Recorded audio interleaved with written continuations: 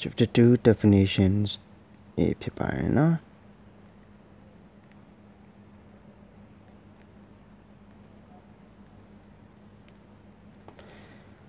နံပါတ်1ဖြစ်တဲ့ pressure ပေါ့နော် pressure ဆိုတာမြန်မာလိုဖိအား pressure is the force acting normally per unit area pressure ဆိုရယ်ဖိအားဆိုတာ is ဖြစ်ပါတယ်တဲ့ the force R ဆိုဆိုတာ R ဖြစ်တယ် factor quantity ဖြစ်တယ် acting ဆိုတာတက်ရောက်နေရမယ် normally ဆိုတာတောင်းမှန်ကြတောင်းမှန်ကြပေါ့နော်တောင်းမှန်တောင်းမှန်ကြအာတောင်းမှန်ကြတက်ရောက်နေတဲ့နော် per unit area ဆိုတာ per unit ဆိုတာ per unit ကိုပြောတာတ unit area တ unit area ဆိုတဲ့နေရာမှာမီတာနဲ့ပြရင်1 meter square ဖြစ်ဖြစ် centimeter နဲ့ပြရင်1 centimeter square feet နဲ့ပြရင်1 feet square အဲ inches နဲ့ပြရင်1 inches square ပေါ့နော်အဲဘာနဲ့ပဲတိုင်းတိုင်းပေါ့တစ် unit area ပေါ်မှာတောင်းမှတ်ကြ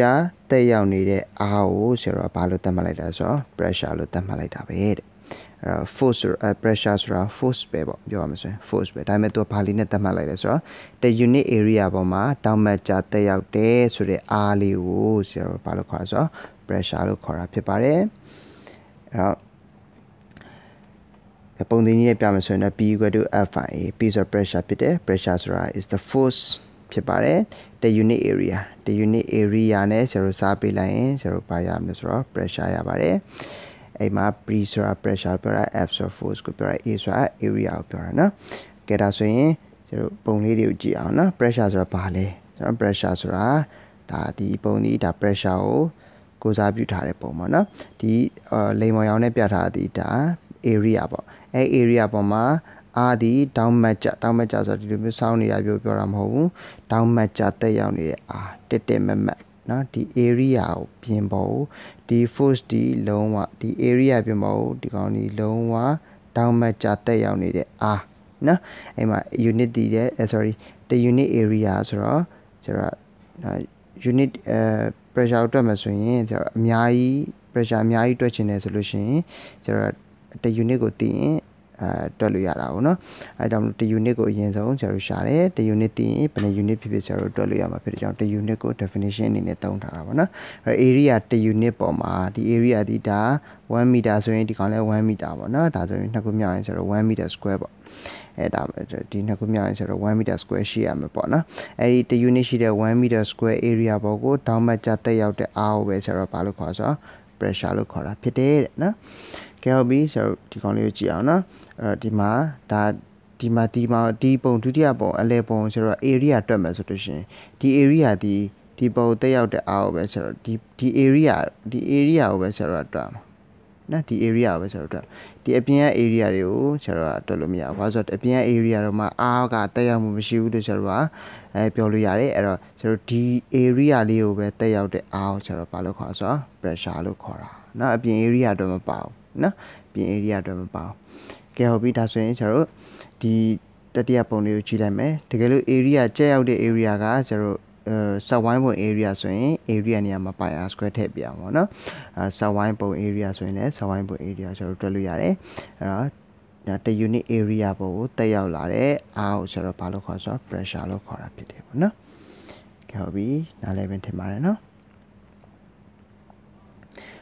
နောက်ဒုတိယပုံအနေနဲ့က basket ပေါ့နော် basket ဆိုတော့ဘာလဲလို့ပြောရင် basket ဆိုတော့အဲ pressure ရဲ့ unit ပေါ့ SI unit ပေါ့နော် pressure ရဲ့ SI unit ဒီ basket ဖြစ်တယ်အဲတော့ one basket one basket ဒီဆရာတို့ဘာကိုပြောရလဲနော် a unit of pressure equivalent to a force of 1 newton acting on 1 meter squared a unit of pressure ဆိုတာ pressure ရဲ့ unit တစ်ခုဖြစ်ပါတယ်တဲ့ equivalent to ဆိုတာတူတယ်လို့ပြောတာနော် pressure unit တူပါတယ်တဲ့ to the force of 1 newton r 1 newton ရှိတဲ့အားပမာဏသည် acting on 1 meter square တ unit နော်1 meter square ဆိုတဲ့ area ပေါ်ကို r 1 newton တက်ရောက်ရင်ကျတော့တူညီနေမယ် pressure unit ဒီကျတော့ဘာလို့ခေါ်ဆို basket လို့ပြောတာเนาะအဲ့တော့1 basket ဒီဘာလဲလို့ပြောရင်1 basket ဒီနော်တ unit area ဖြစ်တဲ့1 meter square ပေါ်ကိုကျတော့ 1 newton တက်ရောက်လိုက်လို့ဖြစ်လာမယ် pressure ကိုဆိုတော့အဲ 1 pascal လို့ပြောတာဖြစ်တယ်ပေါ့နော်ဒါဆိုဒီကောင်လေးကိုဆိုအပေါ်တင်လိုက်ရင်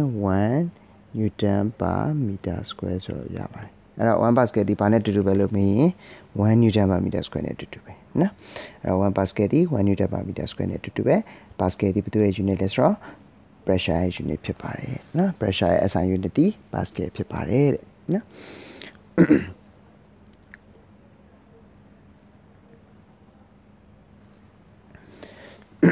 atmospheric pressure atmospheric pressure ဆိုတာလေထု PR ပေါ့နော်လေထု PR လေထု PR the pressure exerted on a body by the atmosphere due to the weight of the atmosphere the pressure exerted on a body အရာဝတ္ထုတစ်ခုပေါ်မှာတဲ့နော် by the atmosphere လေထုကြောင့်နော်လေထုက exerted ဆိုတာတက်ရောက်လိုက်တဲ့ PR ကိုဆိုတော့ဘာလို့ခေါ်ရလဲဆိုတော့ atmospheric pressure လို့ခေါ်တယ်အဲ့တော့လေထုကဘာကြောင့် pressure တက်ရောက်နိုင်တာလဲဆိုတော့ due to the weight of the atmosphere လေထုမှာဘာရှိလို့လဲဆိုတော့အလေးချိန်ရှိလို့နော်လေထုမှာအလေးချိန်ရှိလို့အဲ due to the weight of the atmosphere ဆိုတော့လေထုရဲ့အလေးချိန်ကြောင့်ကျတို့လေထုရဲ့အလေးချိန်ကြောင့်အဲအရာဝတ္ထုပေါ်မှာတက်ရောက်လိုက်တဲ့ PR ကိုဆိုတော့ atmospheric pressure လို့ခေါ်တယ်အဲဘယ်ကအလေးချိန်ပါလာလဲအလေးချိန်ဆိုတာကဆိုတော့ weight ဒီဘာနဲ့တူတူပဲဆိုတော့ force နဲ့တူတူပဲ နော်အဲ့တော့ pressure ကိုတွက်မှဆိုရင်လေထုရဲ့ PR ကိုတွက်မှဆိုရင်လေထုရဲ့အလေးချိန်လေထုရဲ့အလေးချိန်ဆိုတာ W by A နော်ဒါဆိုရင် weight weight က0 force နဲ့တူတူပဲဆိုတော့ F by A ပေါ့ဒါဒီဘာပဲလဲဆိုတော့လေထုရဲ့ အဲ့ဒါ atmospheric pressure ပဲပေါ့နော် atmospheric pressure ပဲကဲဒါဆိုရင်ကျွန်တော်ကြည့်ကြည့်အောင်နော်လေထဲမှာဘာတွေပါလဲဆိုတော့လေထဲမှာကျွန်တော်ဓာတ်ငွေ့တွေပါတာပေါ့နော်လေထဲမှာဓာတ်ငွေ့တွေပါတယ်ဖုံမုံတွေပါတယ်ဟုတ်လားရေငွေ့တွေပါတယ်ကဲထားပါတော့အဲ့ဒီအမုံလေးတွေမှာကျွန်တော်ဘာတွေရှိလဲဆိုတော့ drug 2တွေရှိတာပေါ့နော်အဲ့အဲ hydrogen ဆိုလဲ hydrogen atom မှာကျွန်တော် drug 2ရှိတယ် oxygen ဆိုလဲ oxygen atom မှာ drug 2တွေရှိတယ် drug 2ရှိတယ် mass တွေရှိတာပေါ့ mass ရှိရင် weight ရှိတာပေါ့နော်ဘာလို့လဲဆိုတော့ W equal to mg ကို mass ရှိတော့ဆိုတော့ g နဲ့မြောက်လိုက် weight ရှိတာပေါ့ weight ရှိရင်ဆိုတော့ r တက်ရောက်တာပေါ့ r တက်ရောက်တယ်ဆိုလို့ရှိရင်ဆိုတော့ pr တက်ရောက်တာပေါ့နော်ဒါကြောင့်မလို့လေမုံလေးမွားလေးတွေဒီဘာရှိလဲဆိုတော့အလေးချိန်ရှိတယ် drag 2ရှိတယ်အလေးချိန်ရှိတယ်ဒါကြောင့်မလို့အဲ pressure PR ကိုတက်ရောက်နိုင်တယ်ဒါကြောင့်လေထုကတက်ရောက်တဲ့ PR ဖြစ်တဲ့အတွက်ကြောင့်မို့ကျွန်တော်တို့ဒီ atmospheric pressure လို့ခေါ်ပါတယ်တဲ့နော်အဲ့တော့ atmospheric pressure မှာမှတ်ထားမှာတော့အဲကျွန်တော်အမြင့်ကိုရောက်သွားလေလေလေထုဒီပို့ပြီးတော့ ပွာလာတဲ့အတွက်ကြောင့်မလို့နော်လေမုံလေမွားလေးတွေဒီအပေါ်ရောက်လေးနဲလာလေးတွေဖြစ်တဲ့အတွက်ကြောင့်မလို့အဲလေတုဖိအားဒီအပေါ်ရောက်လေးလေးနဲသွားလေးလေးဖြစ်တယ်အဲ့တော့အောက်ကိုရောက်လေးလေးအဲမြေပြင်နဲ့နီးလာလေးလေးအဲကျွန်တော်လေတုဖိအားတွေပို့ပြီးတော့များလေးလေးပဲဘာကြောင့်လဲဆိုတော့လေတုဒီပို့ပြီးတော့ကိုယ့်ရဲ့အပေါ်မှာပို့ပြီးတော့မြောင်မြောင်များစွာရှိတဲ့အတွက်ကြောင့်မလို့အဲအလေးချိန်ပို့တယ်လေးချိန်ပို့တယ်ဆိုတော့ဖိအားပို့တယ် မှတ်ထားမှာကလေဒုဖိအားသည်ပိုမြင့်လေလေနဲသွားလေလေဖြစ်ပြီးတော့ပိုပြီးတော့နေနေလေလေလေဒုဖိအားများလေလေဖြစ်တယ်နော်ဒါကြောင့်တောင်မော်ဒေတာတွေမှာဆိုလို့ရှိရင်မြေပြန်ဒေတာမှာလေဒုဖိအားနဲတယ်အဲမြေပြန်ဒေတာတွေဒီတောင်မော်ဒေတာတွေထက်ဆိုင်လေဒုဖိအားပိုပြီးတော့များတယ်နော်ဒါလေးသိထားမယ်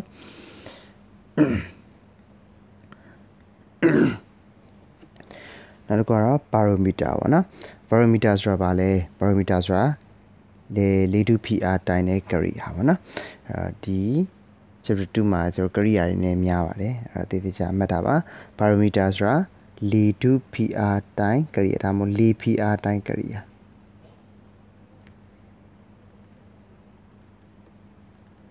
နော်လေ PR တိုင်းကရိယာဖြစ်ပါတယ် a barometer ဆိုတာ is ဖြစ်ပါတယ် a device device ဆိုတာကရိယာပေါ့နော်ကရိယာတစ်ခုဖြစ်တယ် for measuring atmospheric pressure လေထု PR ကိုတိုင်းတဲ့ ကရိယာကိုကျွန်တော် barometer လို့ခေါ်ပါတယ်နော် barometer ကတော့ကျွန်တော်ဒီမှာနှစ်မျိုးပြထားတယ်တစ်ခုကတော့ mercury barometer ဒါပုံနေဆောက်တဲ့မှာပါတယ်ဒီဘက် android barometer ကတော့ပုံနေဆောက်တဲ့မှာမပါဘူးအဲကျွန်တော်တွက်တဲ့စာထဲမှာတော့ပါတာပေါ့နော်အဲတွက်တဲ့အခါမှာလည်းတေချာကြည့်လိုက်ပေါ့နော်โอเคဒါဆိုရင်ကျွန်တော်ကြည့်အောင်နော်အဲ mercury barometer ဆိုတာကတော့မာဒါဒီ glass tube ရှိမယ်အဲ glass tube ဒီအောက်ကဒီခွက်ထဲမှာ mercury ထည့်ထားမယ် glass tube တွေကို mercury အပြည့်ဖြည့်ပြီးတော့ကျွန်တော်မှောက်ချလိုက်ရင်ကျွန်တော် mercury barometer ကိုရပါတယ်အဲဒီလိုလုပ်တဲ့အခါမှာဒီနေရာမှာကျွန်တော်လေဝင်လို့မရပါဘူးအဲဒီနေရာမှာအပြည့်ဖြစ်နေရမယ်ဟုတ်ပြီနော်ဒါဆိုအပြည့်ဖြစ်ရင်ဒီနာဘာလို့ပါဘာလို့ vacuum ဖြစ်သွားလဲဆိုတော့အဲဒီ mercury ဒီဒီဒီညမှာအပြည့်ပထမတော့အပြည့်ဆက်ဆက်မောက်ချင်းတော့အပြည့်ဖြစ်နေတဲ့ပါရမီတာဒီအောက်ကိုတပြေးနဲ့ဆင်းဆင်းသွားတယ်။ဘာဖြစ်လို့အောက်ကိုဆင်းသွားလဲဆိုတော့ပြင်ပရှိနေတဲ့လေတု PR ဒီဒီ mercury column အမြင့်ဘလောက်ကိုပဲထောက်ပံ့ပေးထားနိုင်လဲဆိုတော့960 mm ကိုပဲနော်ထောက်ပံ့ပေးထားနိုင်တယ်နော်အဲ့တော့လေတု PR နည်းသွားရင်ဒီကောင်ဒီဘာဖြစ်သွားမလဲဆိုတော့အောက်ကိုကျသွားမယ်ဘာလို့ဆိုတော့ဒီကောင်ဒီမထောက်ပံ့နိုင်တဲ့အတွက်ကြောင့်မလို့ကျွန်တော်တို့ဒီကောင်ဒီအောက်ကိုကျသွားမယ်။ဒါကလို့လေတုဖိအားတိုးလာပြီဆိုရင်ကျွန်တော်တို့ဒီ mercury တွေဒီဒီလေတုဖိအားတွန်းတဲ့အတွက်ကြောင့်ဒီကနေဝင်ပြီးတော့ဒီပေါ်ကိုပြန်တက်မှာဖြစ်တဲ့ကြောင့်လေတုဖိအားမြင့်နေလေဒီကောင်ရဲ့ level ဒီပေါ်ကိုတက်လေလေ ဒါဆိုလေတုဖိအားနှိမ့်သွားရင်လေတုဖိအားနှိမ့်သွားရင်ဒီထဲမှာရှိနေတဲ့ mercury တွေဒီဒီဘက်ကနေပြန်ပြီးတော့ပြောင်းပြန်ပြန်ပြီးထွက်လာလိမ့်မယ်ဒါဆိုဒီရေမင်းနဲ့ပြန်မြင့်သွားလိမ့်မယ်ဒီမင်းနဲ့ပြန်ဘာဖြစ်သွားမလဲဆိုတော့အဲအောက်ကိုကျသွားလိမ့်မယ်เนาะဒါ mercury barometer ရဲ့အလုပ်လုပ်ပုံပေါ့เนาะအဲ့ဒါကိုကျွန်တော် evangelista torricelli ကနေပြီးတော့ဒီထွင်ခဲ့တာဖြစ်တယ်ပေါ့เนาะကဲ ဟုတ်ပြီဒါတော့ mercury barometer ပေါ့ဒီဘက်ကတော့ android barometer ပေါ့နော် android barometer တော့ပြေဆုံးဆရာမပြောတော့မြင်ဘူးအောင်မဲဆိုတော့ကြည့်ထားရပြီနော်ကဲဟုတ်ပါပြီ barometer အကြောင်းကိုရမယ်လို့ထင်ပါတယ်နော် Torricellian vacuum နော် Cellian လို့ထွက်ရင်လည်းရရရပါတယ်နော်အတန်ထွက်ကတော့ Torricellian လို့ထွက်ကြတယ်အဲ Torricellian vacuum ဆိုတာတော့ဗာလဲတဲ့နော် There is a vacuum at the sealed end of the mercury barometer mercury barometer ပေါ်တစ်ချက်ပြန်ကြည့်မယ်နော်ဒီမှာ mercury barometer မှာအပေါ်မှာပေါ့နော် mercury barometer မှာတဲ့ at the sealed end C ဆိုတာပိတ်ထားတာပဲဒီအောက်ဒီဒီဒီကမပိတ်ထားဘူးဒီပေါ်ပိတ်ထားတယ်ပေါ့နော်အဲ့တော့ပိတ်ထားတဲ့အဲအစွန်းဘက်မှာဆိုတော့ there is a vacuum ဆိုတော့ vacuum ဆိုရဲလီဟာနယ်လေးရှိပါတယ်တဲ့နော်လီဟာနယ်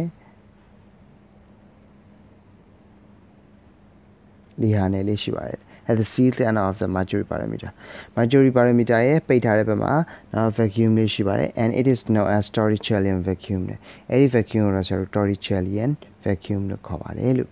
နော်ကျွန်တော်သိရပါတယ်ကြဒါဆိုရင် Torricellian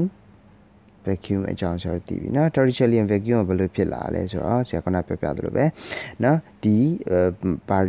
mercury barometer ဒီ mercury column ထဲမှာရှိတဲ့ mercury တွေဒီအောက်ကိုဆရာတို့ဘာလို့လဲဆိုတော့ short ကျသွားတယ်ဘာလို့ short ကျလဲဆိုတော့လေထု PR ဒီဒီလောက်အမြင့်ကိုမထောက်ပံ့ပေးနိုင်ဘူးတာမန်လေထု PR ဒီ960အမြင့်ရှိတဲ့ mercury pressure ကိုပဲထောက်ပံ့ပေးထားနိုင်တယ်ဒါကြောင့်မလို့ဆရာတို့ဒီကောင်ဒီအောက်ကိုတပြေးနဲ့ကျသွားခြင်းဖြစ်တယ်အဲ့တော့အောက်ကိုတပြေးနဲ့ကျသွားတဲ့အခါမှာဆရာတို့ဒီထဲကိုလေးတွေဝင်လာလားဆိုတော့ဘာမှမဝင်ဘူးဒီမှာပိတ်ထားတာဖြစ်ကြောင်းဘာလေးမှမဝင်လာဘူးဒါကြောင့်မလို့ဘာမှမရှိတဲ့အတွက်ကြောင့်မလို့ဒီနာဒီ vacuum ဖြစ်သွားတယ်เนาะ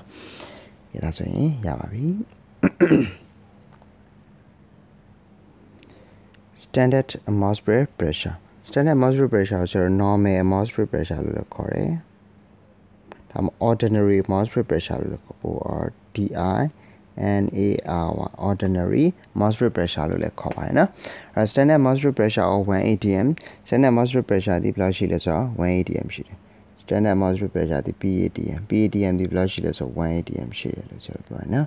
okay ဒါဆိုရင်တာမန်လီတု PR ဒါပေါ့ဆန်လေတု PR အဲဆန်လေတု PR ဆိုတာဘယ်လောက်ရှိလဲ pressure of 760 mm mercury နော်960 mm အမြင့်ရှိတဲ့ mercury ရဲ့ PR ဒီနော်760 mm mercury ရဲ့အတိတ်ပဲပါပဲဆိုတော့နော် mercury 960 mm အမြင့်ရှိတဲ့ PR ကိုဆရာတို့ကအဲ760 mm mercury လို့ခေါ်တာပေါ့အဲ့ဒါကို နော် PR ဒီအဲ့ဒါလောက်ရှိနေမယ်ဆိုလို့ရှိရင်အဲ့ဒီကောင်ဆရာတို့ is known as ခေါ်ပါတယ် as the standard atmospheric pressure or 1 atmospheric pressure အဲ့တော့စံလေးတို့ PR ဒါမှမဟုတ်ရင်1 atmosphere 1 atm လို့ကျွန်တော်ခေါ်တယ်လို့ပြောတာနော်ဒါဆိုရင်ကျွန်တော်အဲဒါဆိုရင် thermal PR ဒါမှ standard atmospheric pressure ဆိုရင်တေးကြတယ်ဒီကောင်းရဲ့အမြင့်ဒီဘယ်လောက်ရှိနေမှာဆိုတော့960 mm အမြင့်မှာရှိနေလိမ့်မယ်လို့ပြောတာ ကဲ960 mm အောက်ကိုနှိမ့်သွားလို့950လောက်ပဲရှိမယ်ဆိုဒါဒီ standard atmospheric pressure မဟုတ်တော့ဘူးနော် standard စံသတ်မှတ်ထားတဲ့စံနှုန်းမဟုတ်တော့ဘူး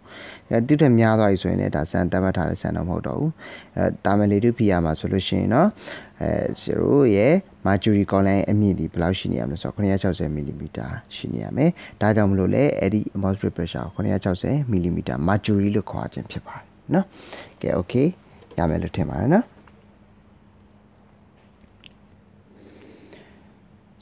sucking ဆိုတာစုပ်ယူခြင်းပါနော်ဒီမှာလို့ဆိုတော့စုပ်ယူခြင်းစုပ်ယူခြင်း ဆိုတာပါလဲပေါ့နော်အဲ့တော့ the action of sucking စုပ်ယူခြင်းဖြစ်စဉ်သည်စုပ်ယူခြင်းလှုပ်ဆောင်ချက်သည်ပေါ့နော်စုပ်ယူခြင်းသည် increases နော်တိုးလာစေတယ် the volume of the lens lens ဆိုတာအဆုပ်ကိုပြောတာအဆုပ်ပေါ့နော်အဲ့တော့အဆုပ်ကို အဆုပ်ရဲ့ဒုတယ်ပေါ့နော်အဆုပ်ဆိုတာကျွန်တော်ဒီမှာပြထားတဲ့ဟာပေါ့ဒါအဆုပ်ကြီးပေါ့နော်အဲအဆုပ်ရဲ့ဒုတယ်ကိုဘာလုပ်လာစေလဲဆိုတော့ကြီးလာစေတယ်တဲ့နဲ့ပြအဆုပ်ပွာလာစေတယ်ဒါမှမဟုတ်ရင်ကောင်းကြီးပွာလာတယ်အသက်ရှူလိုက်ရင်ရင်ပတ်ကြီးကနေပွာလာတယ်နော်အဲအဲ့လိုပွာလာတာဆိုတော့ increase the volume of the lens အဆုပ်ကပွာလာပါတယ် thereby thereby reducing the air, air pressure အဲ့ဒီမှာအဲ့လိုအဆုပ်ပွာလာတဲ့အခါမှာ reducing ဆိုတာရော့သွားစေတယ် the air pressure in the lens ဒီအဆုပ်ထဲမှာရှိနေတဲ့ PR ဒီဘာဖြစ်သွားစေလဲဆိုတော့ပွာလာစေအဲ sorry PR ဒီနည်းသွားစေတယ်နော်အဲ့တော့တူးတယ်များလာတဲ့အခါမှာဇရိုရဲ့ pressure ဒီဘာဖြစ်သွားလဲဆိုတော့ နည်းသွားတယ်တဲ့နော်လေတူဖိအားဒီနည်းသွားတယ်အဲအဲ့ဒီလိုပဲပါဇက်နဲ့အဆုပ်နဲ့ဒီတစ်ဆက်တည်းဖြစ်တဲ့အတွက်ကြောင့်မလို့ပါဇက်ထဲမှာလေလေတူဖိအားဒီဘာဖြစ်သွားဆိုတော့နည်းသွားတယ်တဲ့ဟုတ်ပြီနော်အဲ့ပထမတစ်ချက်ကိုကြည့်အောင်နော်ပထမတစ်ချက်ကသူစုပ်ယူလိုက်တယ်စုပ်ယူလိုက်တဲ့အခါမှာဒီပါဇက်ထဲမှာရောဒီအဆုပ်ကရောဘာဖြစ်လာလဲဆိုတော့အဲအဆုပ်ထဲမှာရောအဲအဆုပ်ကြီးဒီပွာလာတဲ့အတွက်ကြောင့်မလို့လေတူဖိအားဒီဒီအဆုပ်ထဲမှာရှိတဲ့လေတူဖိအားဒီဘာဖြစ်လာလဲဆိုတော့ နည်းသွားတယ်တဲ့နော်လေတူဖိအားနည်းသွားတယ်အဲဒါဆိုရင်ပထမတော့လေတူဖိအားများလို့လားဒါမဆုပ်ခင်တော့ဒီရင်ကောင်းမပွားခင်တော့လေတူဖိအားများလို့လားများတယ်အပြင်ကလေတူဖိအားနဲ့အတက်ကလေတူဖိအားနဲ့အတူတူပဲအဲ့ဒီအချိန်နေမှာနော်အဲ့တော့ကျတော့အဲ့ဒီအချိန်နေမှာဆိုလို့ရှိရင်တော့ဘာမှအဲဒီဘာဘာအကျိုးတရားမှမဖြစ်ဘူးအဲ့တော့လေတူပွားလိုက်တဲ့အချိန်မှာဆိုလို့ရှိရင်တော့ဒီအထဲမှာရှိနေတဲ့အဲ အဆုတ်ကိုပွားလိုက်တဲ့အချိန်မှာတော့လေတူဒီဒါဘာဖြစ်သွားလဲဆိုတော့အဲ PR နည်းသွားတယ်နော်လေတူ PR နည်းသွားတယ်အဲ့လိုပဲပါဇက်ထဲမှာလေလေတူ PR နည်းသွားတယ် demonstrate pressure acting on the surface of the liquid liquid ပေါ်မှာတက်ရောက်နေတဲ့လေတူ PR ဒီ will then be greater than the pressure in the mouth အဲပါဇက်ထဲမှာရှိနေတဲ့ pressure PR ထက်ကိုပို့ပြီးတော့ဖြစ်သွားတာကြီးသွားတယ်နော်ဒီမှာပါဇက်ထဲမှာ pressure နည်းသွားတယ် ဒီအပြင်မှာဖိနေတဲ့ pressure ဒီဘာဖြစ်သွားလဲဆိုတော့များသွားတယ်နော်ပထမတော့960ဒါမီလီမီတာ mercury ပေါ့နော်အဲပထမတော့ပါဇက်ထဲမှာလည်း960မီလီမီတာ mercury ဒါပေမဲ့အဆုတ်ကပွားလိုက်တဲ့ချိန်မှာလေဒီဖီကနည်းသွားတဲ့ကြောင့်ပါဇက်ထဲမှာ960မီလီမီတာမရှိတော့ဘူးနော်သူတက်နေတာ950ဖြစ်ဖြစ်မယ်940ဖြစ်ဖြစ်မယ်ဒါမျိုးသေးသွားတယ်နော်အဲ့ဒီအချိန်ဒီမှာတော့ဒီမျက်နှာပြင်မှာရှိနေတဲ့လေဒီဖီကဒီပါဇက်ထဲမှာတည်းပါဖြစ်သွားဆိုတော့ များသွားတယ်နော်လေဒီဖီကအကြီးသွားတယ် that's ဒါကြောင့်မလို့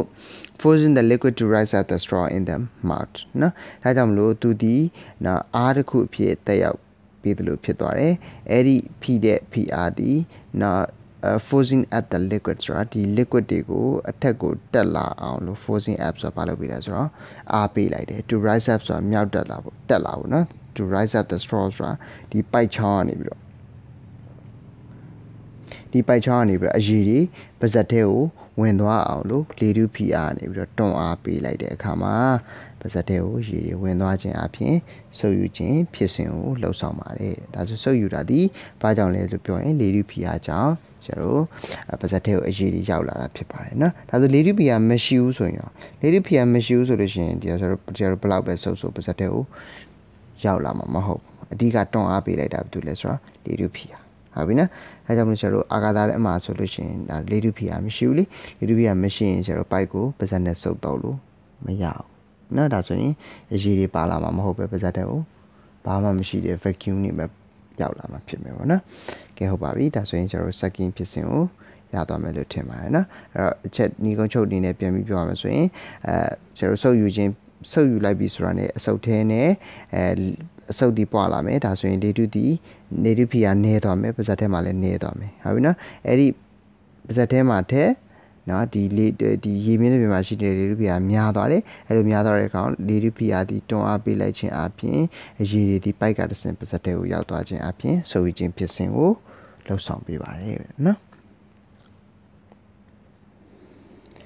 serene serene ကလည်းဒါလေတု PR ကိုအသုံးချတဲ့အသုံးပြုမှုထဲမှာပါတာပေါ့နော် serene ဆိုတာ C2 ပြုံးပေါ့နော် C2 L လည်းမဟုတ်ဘူး C2 ပြုံးလို့ပဲဘာသာပြန်လိုက်မယ်နော်အဲ့တော့ serene ကဘယ်လိုလုပ်လို့လဲပေါ့နော် serene နဲ့ကိုဒါဆက်ပတ်တာဒါ0